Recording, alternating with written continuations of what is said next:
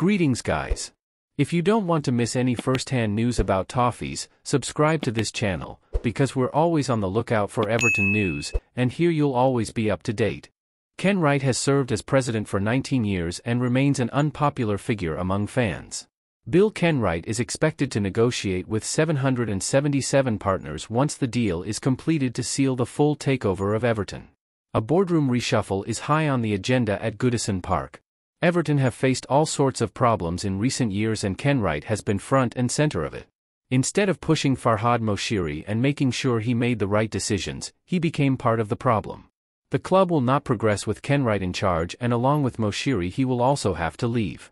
Everton fan, if you also agree with the departure of Kenwright and Moshiri, leave your like on this video and put it like this in the comments, Kenwright out and Moshiri out.